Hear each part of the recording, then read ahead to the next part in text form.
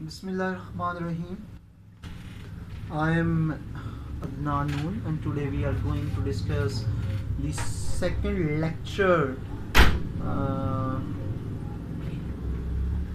आज हम अपना दूसरा जो लेक्चर है वो डिलीवर करने जा रहे हैं Old Man and the Sea पर we are going to discuss Old Man and the Sea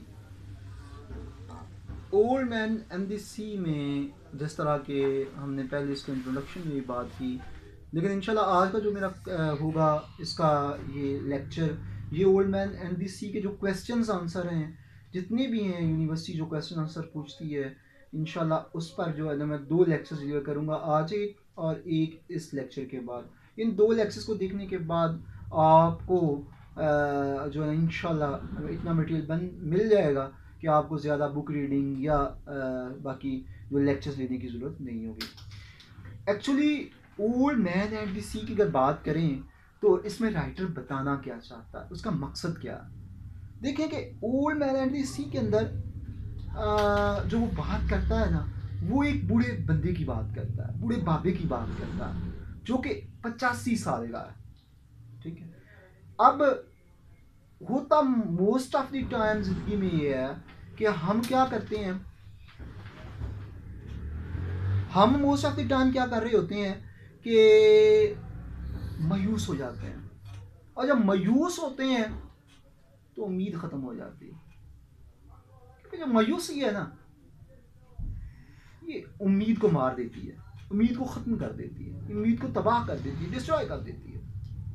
मिसाल के तौर पे, मेरी सपली लग गई बीए में।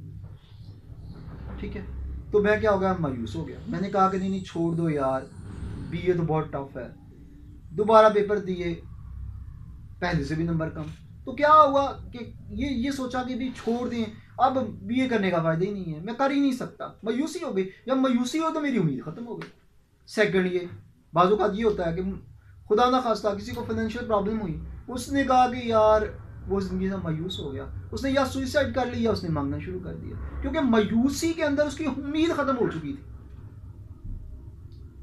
बाजू का ये हुआ कि मिसाल के तौर पे मेरी बिलवर्ड है, वो मुझे, मेरा किसी का साथ अफेयर था, मुझे छोड़ के चली गई, मैंने कहा, यार नहीं, अब ज़िंदगी ही ख़त्म हो गई। मायूस हो गया। मायूस हो गया या सुइसाइड कर ली, या नशइयों की तरह इंजेक्शन लगाने शुरू कर दिए, नशे बन गया। लेकिन वजह क्या थी? मैं मायूस था। अगर मायूस ना होता तो मैं ये सोचता कि किसी के जाने से ज़िंदगी रुक तो नहीं जाती। ज़िंदगी तो चलती रहती है। ठीक है? एक बिलावट गई। अगर मेरे अंदर कैपेबिलिटी है तो हज़ारों और आ जाएँगे। बीए का जो पेपर दिया था, जिसने मुझे मायूस किया था, वो एक पेपर तो नहीं था ना। उसके बाद भी तो और एग्ज़ाम्स भी तो होते थे ना। अगर मैं ये समझता कि वो जो मुझे तकलीफ़ पहुँची थी इसलिए कि मुझे मेरी कामयाबी उससे बढ़कर इंतज़ार कर रही थी। उस वक्त अगर मैंने पचास नंबर सौ में से लेने थे तो इस वक्त मैंने सत्तर ले लिए वो पचास के लिए मेरी तैयारी थी और मेरा मुकद्दर मुझे इससे ज़्यादा देना चाहता था। उसके अलावा जो है ना आ, अगर क्राइसिस आए तो मैं ये सोचूँगी ये जो क्राइसिस है ये तो मुझे और ऊपर ले जाने के लिए है। दोस्तों ने कहा कि नहीं नहीं मैं कुछ नहीं कर सकता। मेरे हालात बुरे हैं, मुझे ये कर देना चाहिए, मुझे तुम मजबूस हो आए हो, ये हो वो। लेकिन अगर मैं ये सोचूं कि ये प्रॉब्लम्स आती ही मुझे उठाने के लिए हैं, जैसे इकबाल कहता है कि बाद मुखालिफ से ना घबराए कब? तुम चल दी है हो ऊँचा उड़ाने वास्ते। तो ट्रबल सफरिंग आती हैं, इसलिए कि वो इंसान को और ऊपर लेके जाए। इसलिए नहीं आती कि वो उसको मायूस कर दें। क्योंकि मायूसी तो कुफर है। मायूसी का इस्लाम में तो कॉन्सेप्ट ही नहीं है। तो लिहाजा ओल्ड मैन एंड इसकी का जो राइटर है, मुझे लगता है कि उसने कुरान पाक की स्टडी की, या दीन इस्लाम के को उसने स्टडी किया, और उसने तब ये कॉन्सेप्ट लिया कि नहीं, मायूसी तो है ही नहीं। तो उसने होप दी। मायूसी नहीं होप दी, क्योंकि मायूसी होप को तबाह कर देती है, और जो होप होती है जब इंसान मायूस नहीं जब तक होता, उस वक्त तक उसके पास होप रहती है। और राइटर ये चाहता है कि इंसान होप में रहे, उम्मीद में रहे। जब तक वो उम्मीद में रहता है, वो कामयाब रहता है। क्योंकि हमारे सब कॉन्टिनेंट का, और मुझे लगता है ये नावल ज़्यादा सब कॉन्टिनेंट को टच कर रहा है। हर उस बंदे को टच कर रहा है, दुनिया के अंदर जहाँ वो रह रहा है, कि वो गरीब है, और साथ वो क्या है? वो लाइफ के उस हिस्से में है कि वो कुछ कर नहीं सकता। वो या डिसेबल है। इस लिहाज से, या वो बूढ़ा है, ऊपर से गरीब है। लेकिन उसकी कॉम्बिनेशन कितनी कमाल की है। वो एक तरफ़ तो लेके आया ओल्ड मैन को। हालाँकि नावल इस तरह से भी लिखा जा सकता था ना कि एक ट्वेंटी फाइव ईयर लड़का है और वो समुंदर के अंदर स्ट्रगल कर रहा है, वो ज़िंदगी से हार नहीं मान रहा। हो सकता था, लेकिन इतनी पसीराई नहीं मिल रही थी, इतना फेम नहीं मिल रहा था। वजह ये थी कि जवानी में तो हर एक ही बंदा स्ट्रगल कर लेता। है हर एक नहीं करता तो फिफ्टी परसेंट तो करते हैं ना। हम अपनी जवानी के अंदर जो, वो जनून होता है, जोश होता है, जवानी की जो ताकत होती है, उसके लिहाज से, वो प्राइवेशन से हम लड़ते रहते हैं। लेकिन अगर एक बंदा बूढ़ा है, उसके बाद फिर वो उसे गुर्बत और हालात घेरते हैं ना, और फिर वो फाइट करता है तो फिर वो हीरो होता है।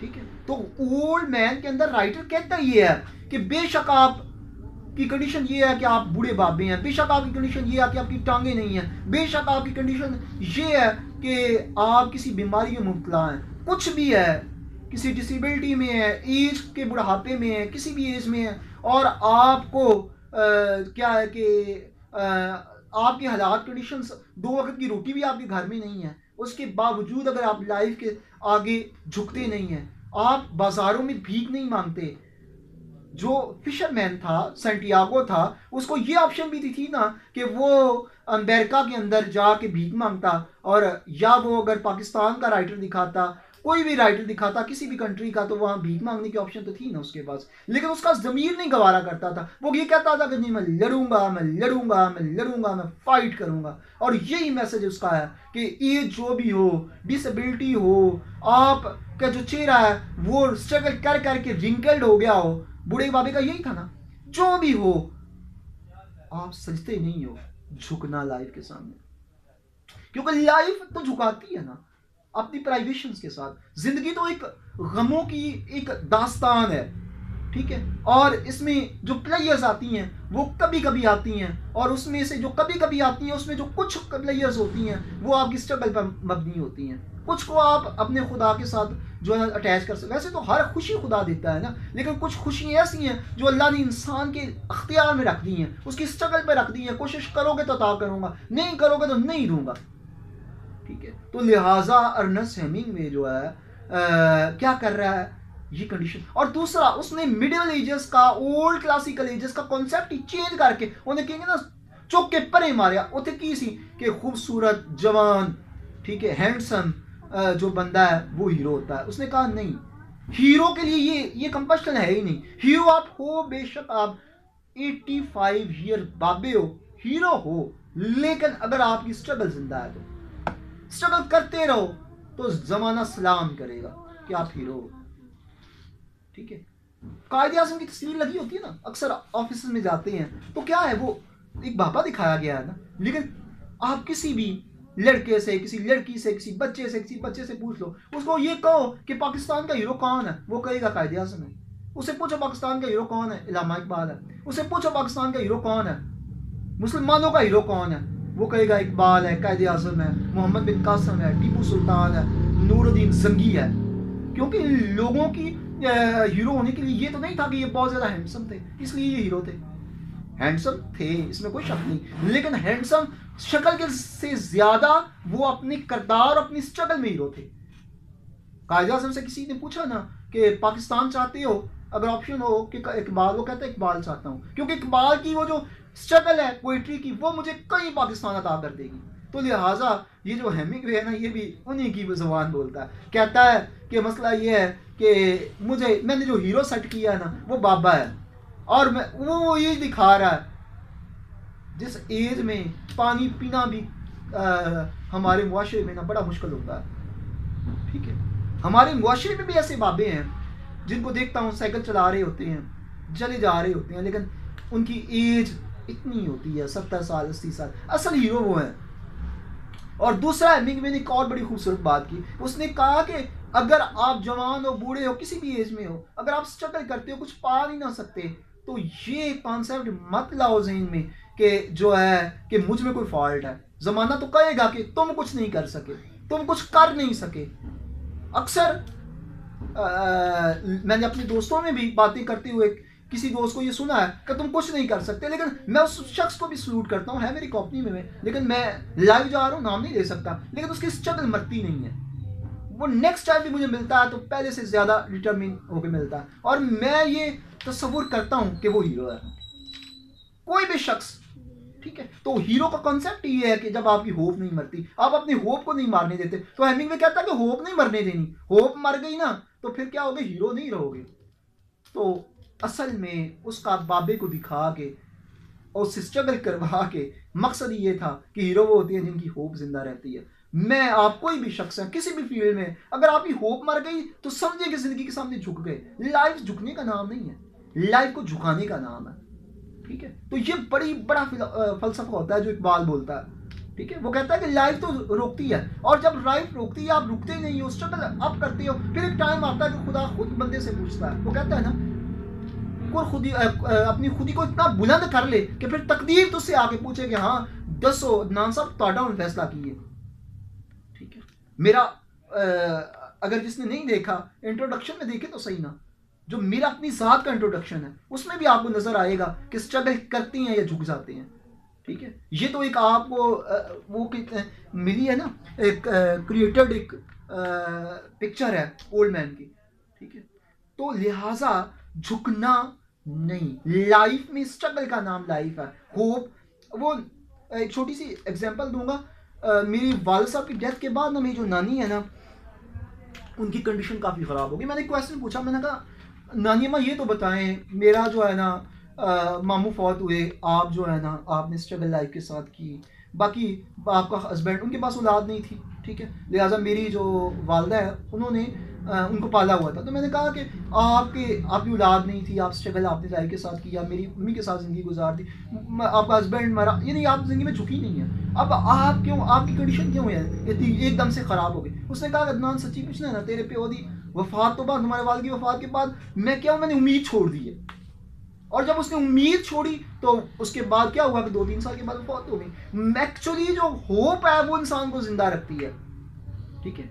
किसी भी एंगल के लिहाज से। जब वो होप मर जाती है, इंसान वैसे भी मर जाता है और उसका जो डिटर्मिनेशन है वो भी मर जाता है। और वो ट्रेजिडी नहीं बड़ी होती कि आप मर जाएँ। इससे बड़ी ट्रेजिडी ये होती है कि जब आपकी फीलिंग्स मर जाते हैं, आपकी थॉट्स मर जाती हैं, आपकी जो है ना स्पायर्स वो मर जाती हैं, आपकी ख्वाहिशात ख़त्म हो जाती हैं। तो अहमी एक बात ही कहता है, कहता सारा कुछ ही ज़िंदा रहेगा, बस होप ना चढ़े आ जाए ठीक है, आप आ आप वन बाय वन ये करेक्टर स्केच आप ओल्ड मैन एम सी का जो है ना इस लिहाज से जो मेरी बातें हैं, उसमें आ जाता है। उसके अलावा जो है लाइफ है, वो क्या है, उसमें आ जाता है। ठीक है? जो आप जो क्वेश्चंस उठा के देखेंगे तो जितनी मैंने अभी बातें की हैं, काफ़ी क्वेश्चन यहाँ तक आपके जो है ना, वो हल हो जाएँगे।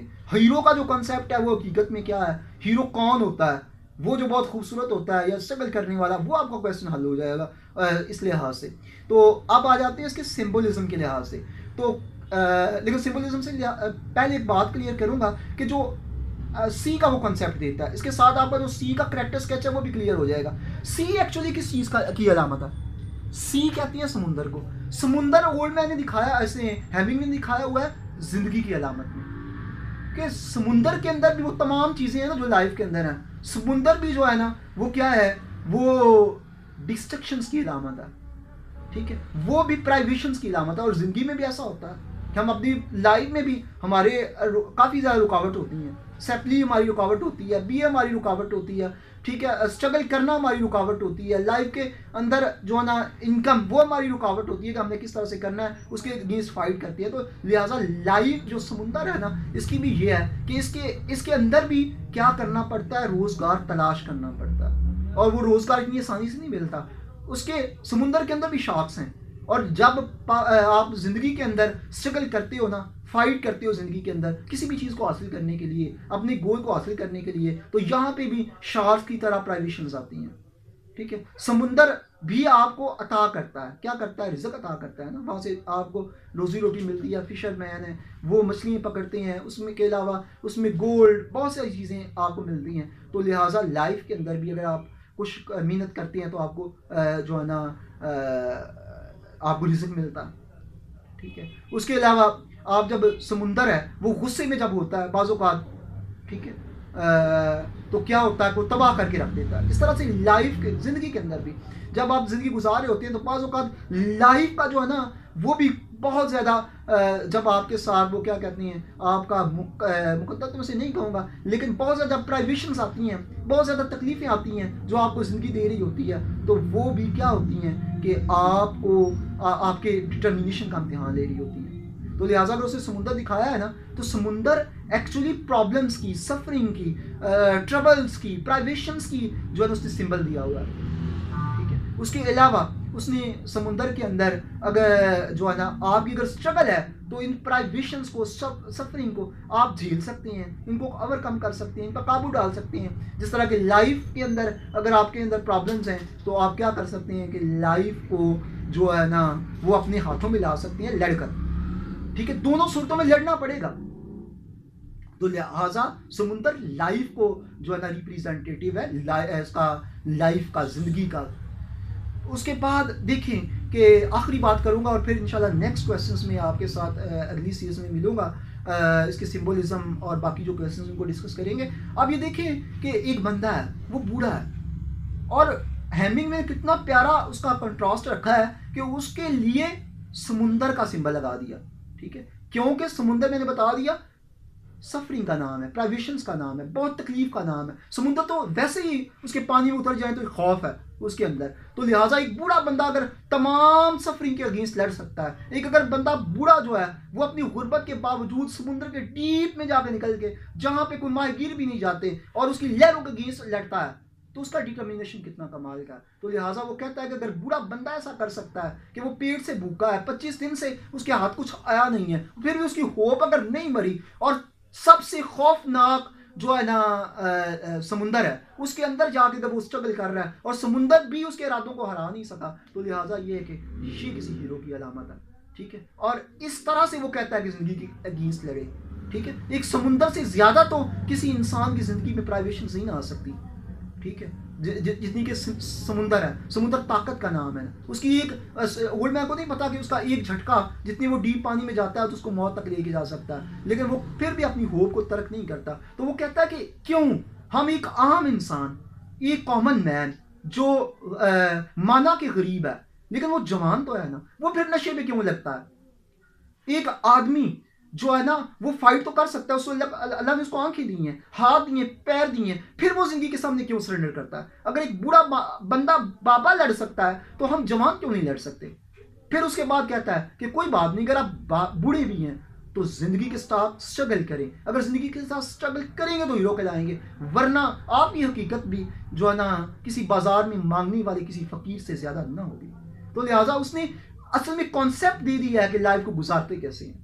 लाइफ होती कैसे है? ठीक है? लाइफ एक्चुअली जीने का नाम है। ज़िंदा दिल जीते हैं। मुर्दा लोगों का नाम नहीं है। जैसे कि वो कहता है ना, आखिरी कोटेशन कोट करूँगा, उसकी मिल्टन की पैराडाइज लॉस्ट के अंदर मिल्टन क्या खूब कहता है? कहता है field is lost all is not lost वो कहता है, मैदान ही हार गया ना। सब कुछ तो नहीं ना आ रहा गुर्बत आ गई, क्या हो गया? सपली आ गई क्या हो गया? सब कुछ तो नहीं ना आ रहा सब कुछ अगर हार गए तो तब ज़िंदगी खत्म होती है। कहता है कि किसी भी एक चीज़ के खो जाने से ज़िंदगी के सामने सरेंडर मत करें। ज़िंदगी का सब कुछ भी ले लेती है फिर भी सरेंडर ना करें। कोई आप आपका आपकी विल पावर तो है ना? जैसे मिल्टन कहता है कहता है कि field is lost field is lost all is not lost unconquerable will कहता है कि मेरी ओ, मेरे अंदर जड़ी है ना विल पावर है जड़ी कभी हरदी नहीं अनकॉन्करेबल है जिसे कोई फतह ही नहीं कर सकता। तो कहता है, यही हेमिंग बेबी कहता है कहता है कि नहीं, हारना नहीं है, ज़िंदगी हारने का नाम नहीं है। इंशाल्लाह नेक्स्ट क्वेश्चन के साथ फिर मिलेंगे।